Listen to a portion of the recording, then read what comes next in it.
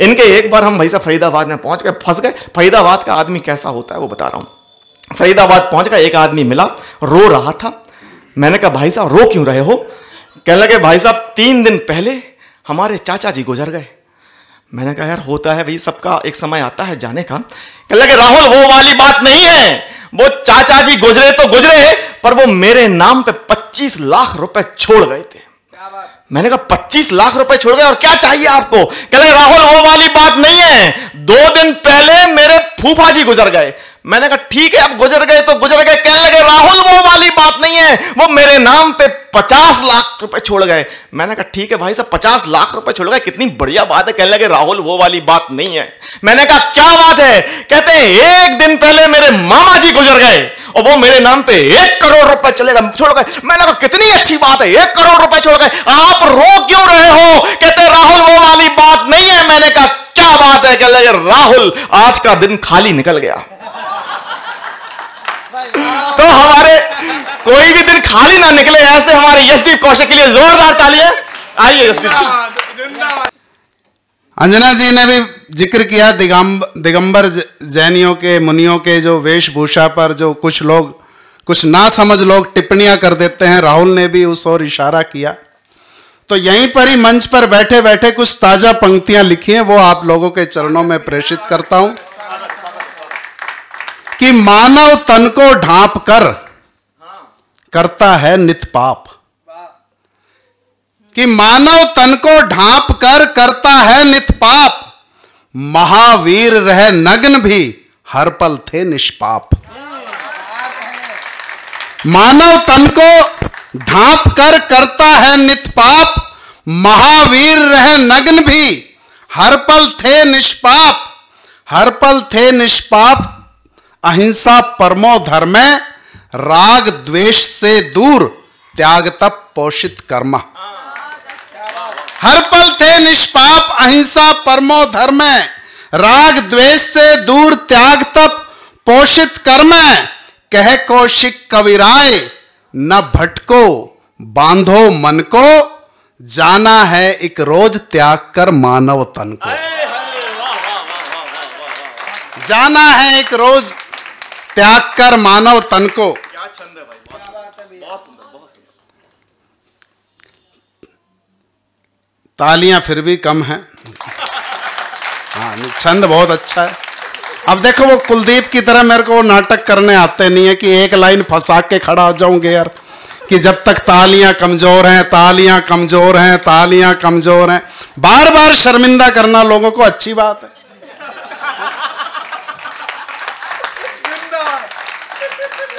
ये बेचारे भजन पूजा करने के लिए आए हैं, तुमने इनको ताली बजाने वाला समझ लिया। तालियाँ कमज़ोर हैं, तालियाँ कम... वो नहीं, अगली लाइन नहीं पढ़ूँगा जब तक अरे, कितनी बजवाओगे यार तुम। हाँ। मैं बताता हूँ ऐसा हर कवि, ये शुरू में ये भी कर रहा था, तालियाँ बजानी और ये करना और वो करना है, फिर ये स्वदेश यादव भी ये पंक्तियाँ सौंपता हूँ और ये करता हूँ, आखिरी पंक्ति पे तालियाँ उठे और वो करना, ये करना। हर कवि तालियों की डिमांड करता है। सीधी सी बात है, मैं समझा देता हूँ, क्यों कवियों को तालियों की ज़रूरत पड़ती है? हाँ नहीं एडवांस पेमेंट नहीं, हमें भी नहीं हुई भाई साहब अभी तक। हाँ। भाई साहब ने कह दिया था, पहले इस्तेमाल करेंगे, फिर विश्वास करेंगे। वो जैन स्कूल वाली मुझे अपनी बात बतानी पड़ी, तब ये माड़ा कमाई है मैंने। हाँ। ये मुफ़्त का माल नहीं है भाई साहब। बहुत बहुत प्रिय है। क्यों कवियों को तालियों की ज़रूरत पड़ती है? कि जिस तरह से गीत को संगीत की गुरमीत को हनीप्रीत की। कि जिस तरह से गीत को, संगीत की, गुरमीत को, हनीप्रीत की, सपेरे को, बीन की, जलोटा को, जसलीन की, मछली को, पानी की, बुढ़ापे को, जवानी की, बच्चों को, संस्कार की, व्यापारी को, बाज़ार की, मरीज़ को, डॉक्टर की, नेता को, वोटर की, समोसे को, आलू की, बिहार को, लालू की, मोदी को बढ़ाई की, राहुल को, लुगाई की, फेसबुक पर लाइक की, सैलरी में हाइक की, चोर को, मौके की, मौके पे चौके की, गालों पे लाली की और जीजा को साली की ज़रूरत पड़ती है। इसीलिए हम कवियों को आपकी ताली की ज़रूरत पड़ती तो एक बार ज़ोर से ताली, जय काली, कलकत्ते वाली। कोई कवि ना जाए खाली। और जो ना पीटे, अब भी ताली उसको पीटेगी घरवाली।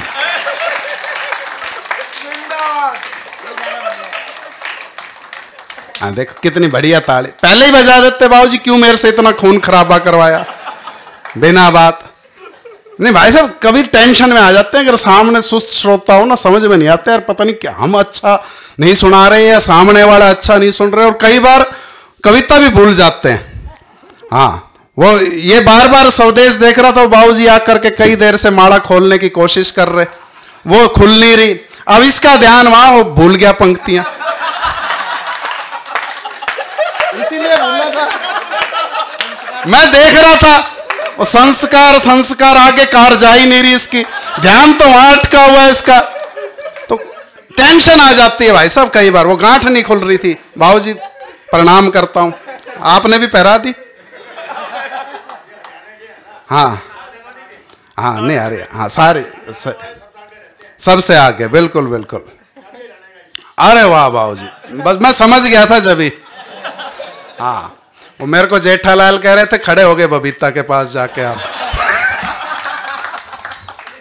मैं समझ, ये हरियाणा वाले ही कर सकते हैं ऐसी हरकत। हाँ। देखो, हरियाणा में क्या है कि और जगह क्या होता है, आदमी की जैसे जैसे उम्र बढ़ती जाती है वैसे वैसे वो धार्मिक हो जाता है। और हरियाणा का आदमी जैसे जैसे उसकी उम्र बढ़ती जाएगी वैसे वैसे और ऊत हो जाता है।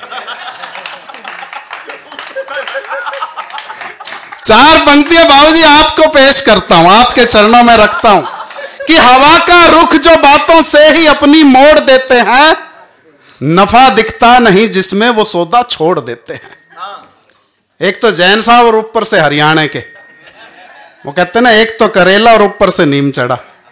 कि हवा का रुख जो बातों से ही अपनी मोड़ देते हैं नफा दिखता नहीं जिसमें वो सौदा छोड़ देते हैं और जवानी में सितम कितने किए होंगे, जरा सोचो। मसूडे से ही जो अखरोट अब भी फोड़ देते हैं।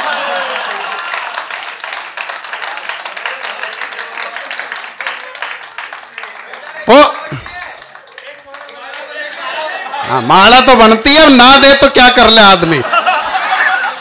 अभी नहीं देंगे, थोड़ी देर बाद देंगे। हाँ। देखो, अभी भी खोलनी नहीं है, वो एक ही खोल। अरे, कैची ला के काट दो सारी। लाओ बाबू जी ये छोटी दे दी, कोई बात कोई बात नहीं। हाँ नहीं नहीं, कोई बात नहीं। अपने घर का मामला है, हरियाणा का, कोई दिक्कत नहीं। हाँ मैं वो क्या बता रहा था, भूल गया मैं। ऐसे ही टेंशन हाँ वो भूल जाता है आदमी कई बार ना। हाँ वो कई बार भूल जाता है। वो देखो, लाल किले का कवि सम्मेलन सबसे बड़ा कवि सम्मेलन माना जाता है। पूरे देश में, पूरी दुनिया में। अब वहाँ पर आकर एक कवि ऐसी टेंशन में आ गया, सामने से किसी ने कुछ करी होगी, ध्यान भटका दिया, वो भूल गया। पहली लाइन के बाद ही पूरी कविता भूल गया। अब वहाँ पर क्या हुआ, नज़ारा आप देखिए। अब उसने पढ़ना शुरू किया। बोला, चौराहे पर खड़ा कुत्ता।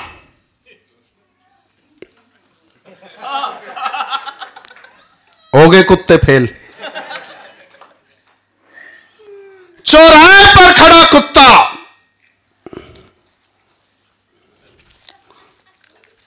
अब भाई साहब पर्ची भी घर ही रहेगी वो। अब पीछे से संचालक बोला, जल्दी पढ़ो, नहीं पब्लिक मारेगी कुत्ते की तरह यहीं। पब्लिक शांत, पब्लिक को कुछ नहीं पता क्या हो रहा है। वो बड़ा कवि है, पिछले चालीस सालों से कविताएँ पढ़ रहा है। कोई गंभीर संदेश, कोई अच्छा मैसेज निकल करके आएगा। बोला, चौराहे पर खड़ा कुत्ता और कुत्ते के ऊपर कुत्ता। अब ज़रूरत नहीं थी कुत्ता चढ़ाने की। बस वो अंदर ही अंदर जिद्दोजहद चल रही है कि कैसे अगली पंक्ति याद आ जाए। बात को संभालने के लिए एक कुत्ता चढ़ा दिया। बोला, चौराहे पर खड़ा कुत्ता और कुत्ते के ऊपर कुत्ता और कुत्ते के ऊपर फेरे कुत्ता। अब भाई साहब याद आ नहीं रहा और अगला कुत्ते पे कुत्ते चढ़ाए जा रहा है। कि चौराहे पर खड़ा कुत्ता और कुत्ते के ऊपर, कुत्ता और कुत्ते के ऊपर, कुत्ता और कुत्ते के ऊपर, कुत्ता और कुत्ते के ऊपर, कुत्ता और कुत्ते के ऊपर, कुत्ता और कुत्ते के ऊपर, कुत्ता और कुत्ते के ऊपर, कुत्ता और कुत्ते के ऊपर, फिर एक कुत्ता। पूरा पिन ड्रॉप साइलेंस, सब सोच रहे हैं, यार, क्या क्या मैसेज, किस विषय पर कविता सुना रहा है? यार, आज तो नई कविता सुना रहा है। सारे चुपचाप तो अभी पीछे से एक श्रोता खड़ा हुआ, बोला, भाई, वाह वाह वाह वाह, बहुत बढ़िया बहुत बढ़िया बहुत बढ़िया। उसकी बगल में बैठा था, उसने मारी उसके कौनी, बोले, किस बात की बहुत बढ़िया, कुछ समझ में आई क्या कह रहा है? फालतू की बकवास कर रहा है, बहुत बढ़िया बहुत बढ़िया। बोला, कुछ भी कह रहा हूँ, तेईस कुत्ते चढ़ चुके बैलेंस दे गिर नहीं रहा एक भी।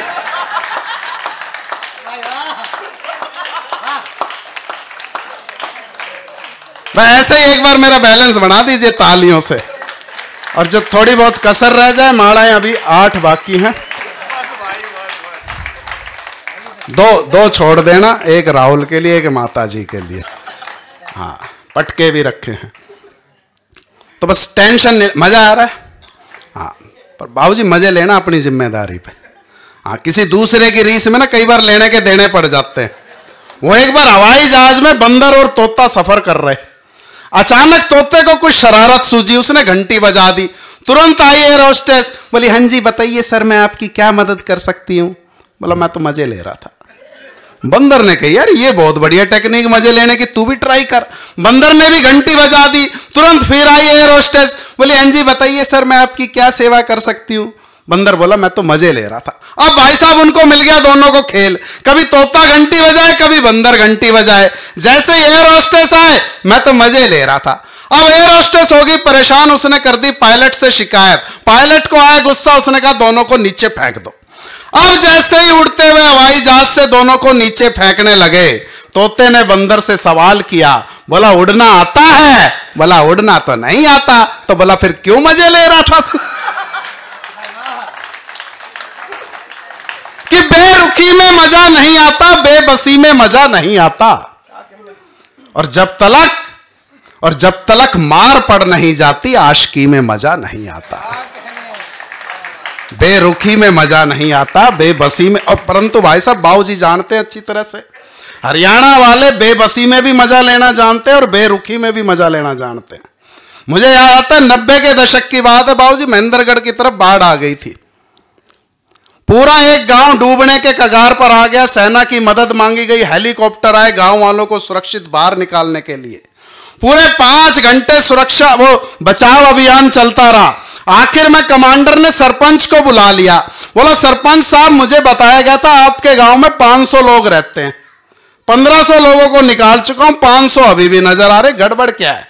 सरपंच बोला, भाई साहब, माफ़ करना, गलती होगी बोला। बोला, क्या गलती हो गई? बोला, देखो जी, गाँव के बेचारे गरीब भोले भाड़े लोग हैं। आज तक ये पैदल सफ़र करते हैं, कोई साइकिल पर, कोई घोड़ा गाड़ी में, कोई बैल गाड़ी में। इन्होंने कार की शक्ल नहीं देखी। और आप तो इनको हेलीकॉप्टर में लेके जा रहे हो। बोले, जहाँ छोड़ के आते हो, तैर के फिर वापस आ जाते हो।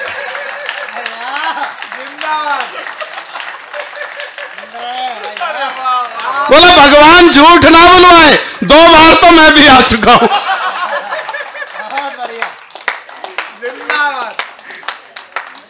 ये है हरियाणा हरियाणा वालों को ना पता क्या है? नाम कहते हैं हरियाणा से आए जैसे कोई बेवकूफ़ आदमी हाँ। शक्ल से ही दिखते हैं होते नहीं है बिल्कुल भी। हाँ मैं बताता हूँ क्या होते हैं हरियाणा वाले कि सीधे साधे लोग जहाँ बातों में है रस जहाँ। क्या बात है? बहुत सीधे होते हैं बिल्कुल साधारण। धरती से जुड़े हुए धरती पुत्र। मुझे याद है हमारे गाँव की चौपाल में शाम को चार बुढ़े बैठे हुक्का गुड़गुड़ा रहे। अब उनमें चर्चा क्या चल रही बाबूजी? कि हरियाणा की तरक्की कैसे हो? चारों बुढ़े माथा जोड़ के बैठे हुए हुक्का गुड़गुड़ाए जाए, यार, हमारा हरियाणा बहुत पिछड़ा स्टेट रह गया, इसकी तरक्की कैसे हो? इसका विकास कैसे हो? तो उनमें से एक बुढ़ा बोला काफ़ी देर बाद, बोला, यार, एक तरकीब हो सकती है। बोला, क्या? बोला, अगर हरियाणा को पहले तो कर दो, भारत से अलग, और एक नया देश घोषित कर दो। बोला, यार, इतनी देर में बोला, तब भी बेकार बात करी तने बोला, पहले पूरी बात तो सुन ले। बोला अच्छा बता पूरी बात। बोला, पहले तो हरियाणा को भारत से अलग करके एक अलग स्वतंत्र देश घोषित कर दो और फिर कर दो अमेरिका पर हमला। और बोला, अमेरिका हरियाणा को हरा देगा और हरियाणा पे कर लेगा कब्जा और हरियाणा भी बन जाएगा अमेरिका का हिस्सा।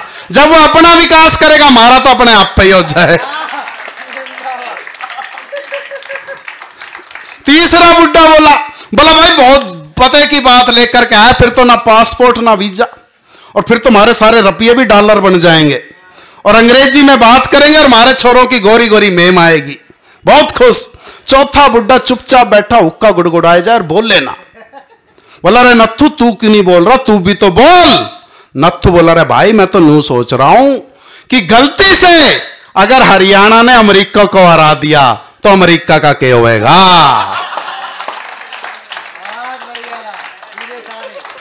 सीधे साधे लोग जहाँ बातों में है रस जहाँ। और भाई साहब ये ये बोल रहा हूँ बस दो मिनट और सुनाएँगे ये। हाँ ये आपको नहीं कह रहा ये मुझे कह रहा। ये कहीं पे निगाहे कहीं पे निशाना। आपको नहीं कह रहा मैं आप बैठे रहो। हाँ ये मुझे कह रहा है आप आराम से बैठिए। हाँ ये वो कह रहा था वो ना भाई, मेरे बाद कौन कौन? दो लोग बचे हैं। पाँच मिनट तुम्हारे, पाँच मिनट माता जी के। आपका घर का कार्यक्रम कभी भी सुना लेना। बाकी समय मेरा नहीं, जब से कर रहे थे, कौशिक जी तक पहुँचना है, कौशिक जी तक पहुँचना अरे, कौशिक जी पहुँच गए तो अब उनको तो सुना लेना तो। अब तुम अपना कैलकुलेटर लेके बैठ गए, बस दो मिनट रहे हैं। पूरे बीस मिनट बचे बाबू जी अभी शुरू नहीं हुआ हाँ जब ये सारी माला लेके जानी है भाई। हाँ। हाँ वो कह रहे हैं ऐसे ही दे दो सारी। हाँ ऐसे ही दे दो तो दे दो फिर मैं तो बैठू। मेरी सारी मेहनत वहीं पर टिकी हुई है। हाँ। हाँ सीधे साधे। दे भुलवाया मत करो यार बीच में। नहीं फिर मेरे को कुत्ते चढ़ाने पड़ेंगे। हाँ। सीधे साधे लोग जहाँ बातों में है रस जहाँ। वो ये बता रहा था कि वो मैंने घर बोल दिया, वो ये बर्तन गिरा देना, पनीर गिर गया, छोले गिर गए, राजमा गिर गए, दाल गिर गई। भाई साहब, मैं बताता हूँ असली बात। मैं गया इनके घर। रात को करीब मेरे ख्याल से साढ़े ग्यारह बज रहे थे। हाँ साढ़े ग्यारह बज रहे थे। मैं जा रहा था कहीं से तो मैं कह यार अब और कहीं, इतनी रात कहीं ना रेस्टोरेंट खुला होगा, ना कोई ढाबा। रास्ते में अपने भाई राहुल का घर है तो चल यहीं खाना खा लेंगे। मैं गया तो बोला, यार यशदीप इस समय? मैं कि हाँ इसी समय अब क्या करें यार, बहुत दूर से आ रहा हूँ कवि सम्मेलन था। बोला, रोटी तो नहीं खाएगा मेरे ख्याल से तू? मैं कि, नहीं भाई, खाऊँगा रोटी तो। बोला अच्छा भाई, हम तो अपना साफ़ सफ़ाई करके, चोला चुक्का करके सो रहे थे, अब तू आ गया तो दोबारा आटा गूंदना पड़ेगा। अतिथि हमारा भगवान होता है, करेंगे, ज़रूर करेंगे। तू बता, कितनी रोटी खाएगा? फिर उसी हिसाब से मैं तेरी भाभी को बोलता हूँ, आटा गूंदेगी। मैं कि भाई चार रोटी खाऊँगा, और क्या मैं कोई दाना थोड़ी लग रहा हूँ तेरे को? बोला, चार रोटी तेरे भाभी के हाथ की खा लेगा? मैं कि ज़्यादा मोटी रोटी बनाती होगी, मैं कि एक काम कर, तीन रोटी खा लूँगा मैं। बोला, देख, तीन रोटी खा लेगा ना तू? डराने की कोशिश की मेरे को। मैं कि अच्छा एक काम कर, दो रोटी तो खा ही लूँगा। तू आटा लगवा, भूख लग रही है बहुत तेज। बोला, तू सही सही बता, दो रोटी खा लेगा ना, फिर झूठा नहीं छोड़ना, देख, अन्न का अपमान नहीं होना चाहिए बिल्कुल भी। फिर दो का ही आटा गूंदवा रहा हूँ। मैं कि, यार, तू एक काम कर, एक रोटी का आटा लगवा दे। बोला, एक रोटी के पीछे के तवा चढ़ाना, सोच जाना चुपचाप है सीधे साधे लोग जहाँ बातों में है, रस जहाँ। और ये भाई साहब एक बार मेरे साथ जयपुर जा रहा कवि सम्मेलन में।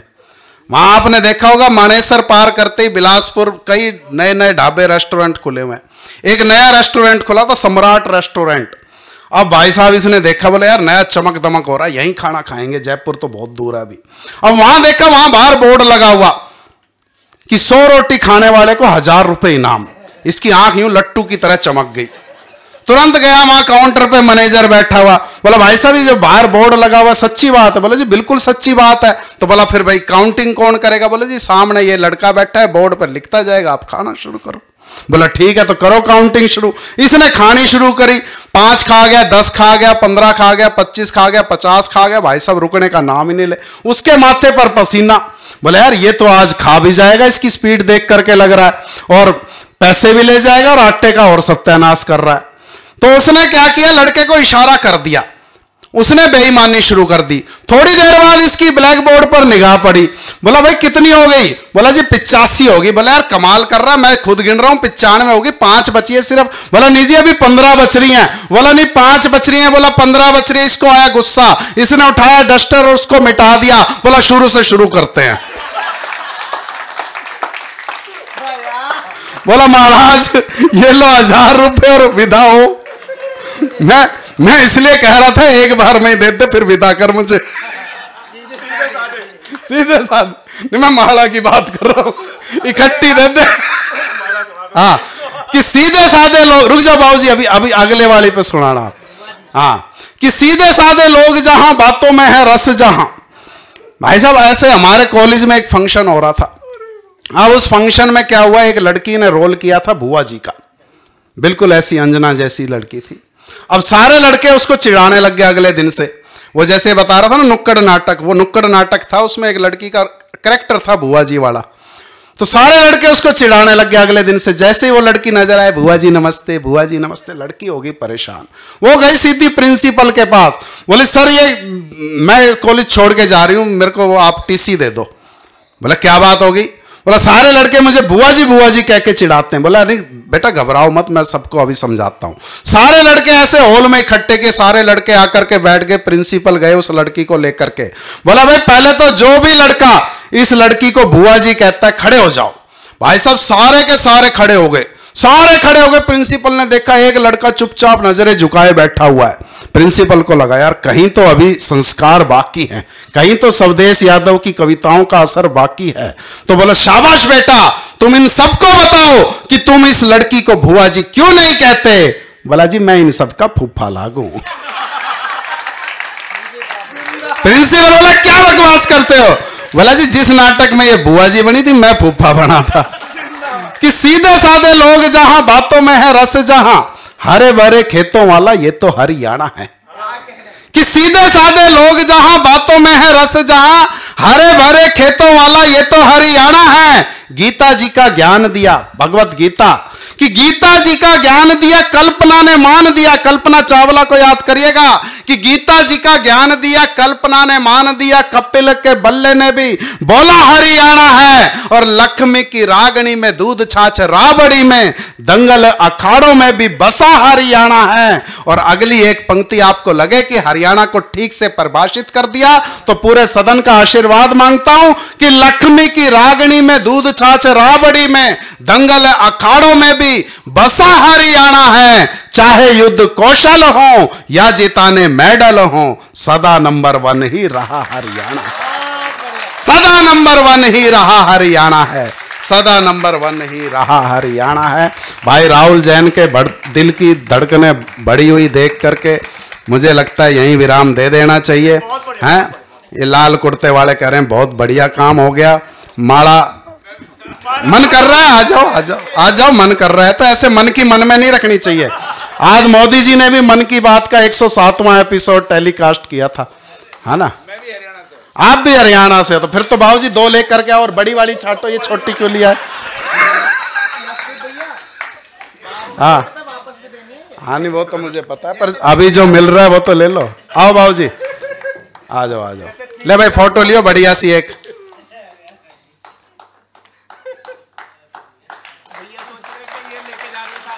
जय हिंद जय भारत।